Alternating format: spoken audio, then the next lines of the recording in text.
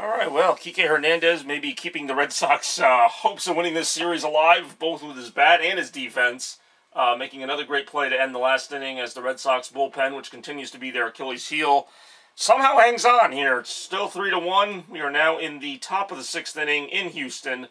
Uh, we got Alex Verdugo up at the plate with the bottom third of the Red Sox lineup coming up to face the Houston Astros and some pitcher named Matan, Maton, I don't even know. Uh, that would have been a good pitch to hit, but Verdugo takes the first strike. But yeah, uh, two plays in the last inning that uh, Kike made that were a little bit uh, tricky, to say the least, but worked out. As I go up against, I guess it's Phil Matan, Maton, I don't know. I'm not good with names. But here we go. Inside, two and one to count.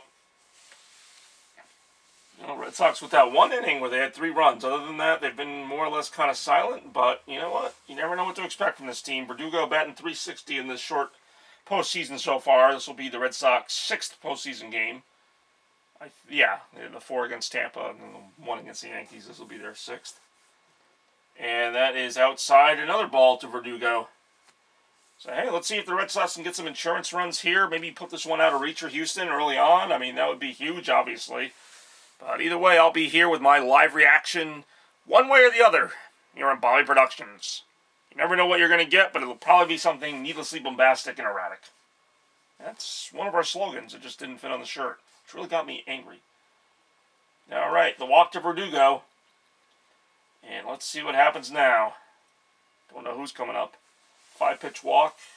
Number eight hitter for the Red Sox. It's probably either Dalbec or like uh, Vázquez. Or who's the other guy? Arroyo.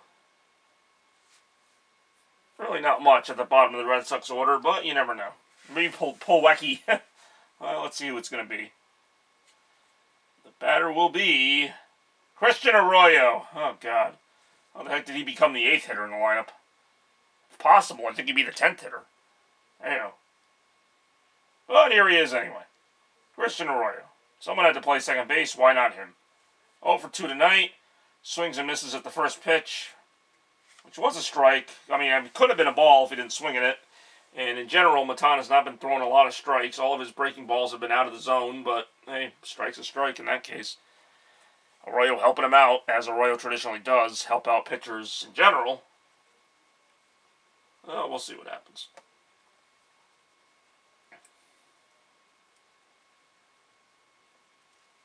Yeah, he's showing a bunt, and he does bunt. Runner gets the second, but he's tagged out. I, guess. Actually, it was kind of weird, but he does get the job done if uh, went through. I'm so I'm confused. The uh, runner got the second base, which is generally how bunts work.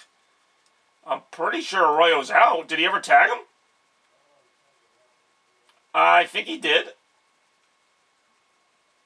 Yeah, he did. It was barely. I don't know why he didn't go. He didn't throw it first, just to make it more concrete.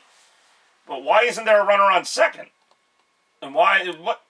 How did, did the rules of baseball change again? Because they seem to change a lot.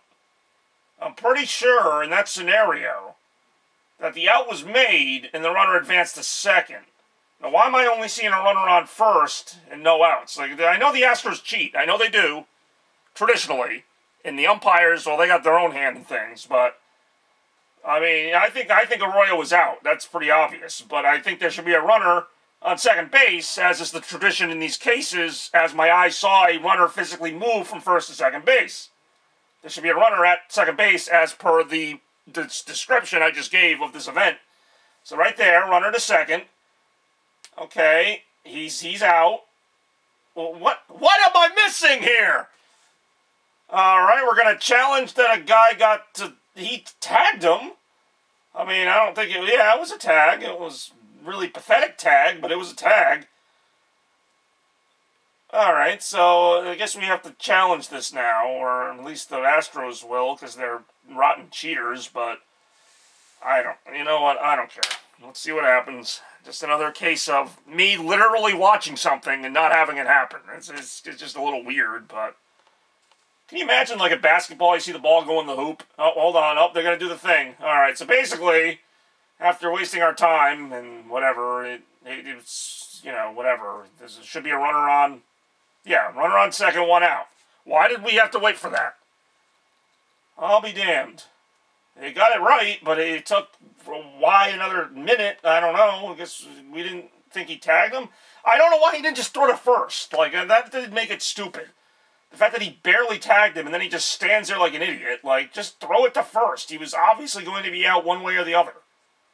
I mean, I think he tagged him. He did tag him, but it was like the weakest tag. It was like if I touch this bottle of soap here and barely touch it. I mean, just tag the guy or just throw it to first. It's not rocket science. It's a sacrifice bunt.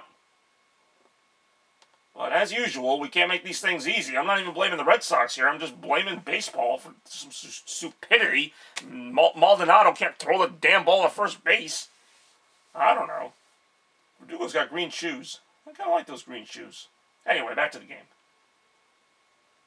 Got Arroyo, who actually, for once in his life, made an out that meant something. Uh, Vázquez, not much better, but hey, maybe maybe we can get a walk here. I don't know. Uh, Matone, if that is his name, Maton, Matone, the Matinator, whatever you want to call him. Uh, not really in the strike zone here. That's putting it mildly. Got Kike on deck, so this is a big at bat. Try to get to Kike. Hopefully, you know, maybe he draws a walk, but even if he makes an out, it's two outs to the runner in scoring position for Kike. I don't mind that, those odds. But for right now, let's see what Vázquez does. 2 0 count. Runner on second, one out. The pitch from Maton. That's a strike. All right, 2 and 1. Vázquez here. See if, like, even if he makes an out, maybe he can get the run to the third somehow. Although with two outs, if that is the case, it wouldn't help extremely. But hey, every little bit helps here. It'd be nice to get a fourth run, be up four to one. Even it's just a psychological thing, really. But still, with the Red Sox bullpen, extra runs certainly won't hurt. Wow, it's like the third straight. Oh, not third because he did throw a strike, but like that's the third curveball in this at bat that just went way outside the zone. I mean, I understand the strategy to an extent, but that is way outside the zone. Yeah, nobody was swinging at that. So let's see what Maton's got now. Three and one, hitters count. Runner on second. See, I always thought the Astros had like this really good pitching staff. That's why I thought they were so good. I mean, and they traditionally do, but they haven't had the same luck, I guess, uh, this particular year.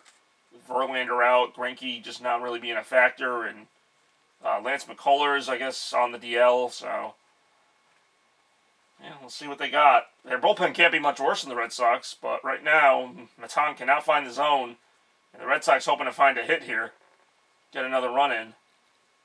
The 3 1 pitch to Vázquez coming up. That's a strike. Yep, barely, but it is a strike. 3 and 2. If anything, we're making an at bat of it. The competitive at bat, not bad to see. This is what I wanted. I mean, a competitive baseball game in the sixth inning. Hopefully it stays that way and the Red Sox come out with a win. Three and two. Top of the sixth.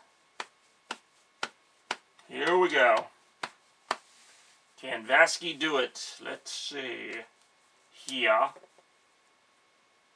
Uh, ground ball, kind of similar to the bunt. It will get the runner over, and it, it was a close play at first, but he is out. So, all right, got the run of the third, and not really a bunt, but kind of a bunt. I'm actually surprised the runner went to third on that, but it was hit kind of slowly, so all right. Two productive outs made by two very not good hitters, but more importantly, we got out of that part of the lineup and got to the good part of the lineup with Kike. Hey, he's a triple shy of the cycle. This would be a good time to get that triple, although any base hit would do. So Kike is batting 500 in the postseason.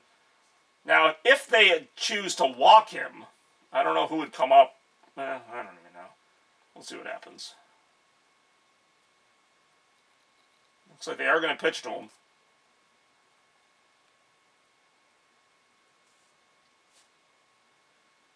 That's a swing and a foul ball. I mean, on the other hand, the law of averages are almost against him now. Like, you know, usually you say if somebody's like 0 for 6 or 0 for whatever, you know, they're due for a hit. Like, now it's almost like he's 3 for 3. You know, he was like 5 for 5 in another game. Like, he can't keep this pace up and this is a big time to get a hit. So I mean, you know, if he doesn't get one here, it's not like the end of the world because he's still three for four. But at the same time, you want to see this be the at bat. He continues it, but will this be the at bat that breaks the streak? I feel like there's a better chance of him not getting a hit here.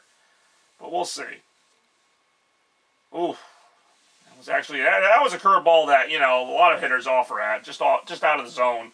Swings at it for strike two. And again, when the the bat is as good as Hernandez has been lately, you almost don't blame him. Really can't question a lot of what Kike Hernandez does. I do enjoy Kike Hernandez. Even if I don't enjoy seeing the replay of his swing and miss over and over again. All right, 0-2 the count. Two outs here in the top of the sixth. Red Sox trying to add to their lead with a runner on third. Astro fans wearing the worst logos in baseball as usual. Way outside the zone. That's at least the 10th one of those pitches I've seen. Freaking curveball had no chance, but let's see if Kike Hernandez has a chance. One and two. Top of the sixth. Runner on third. I believe the runner is Verdugo. He Verdu went to first base on a walk. But now we will see if anything becomes of that. The one and two pitch to Kike Hernandez coming up here in game one of the ALCS. Ball two. Two and two, two outs. See, this is the baseball intensity that I missed these past couple of years. Been watching some Red Sox games during the regular season, but this is where this is where the money's made. This is the playoffs now. Trip to the World Series on the line. Can the Red Sox do it?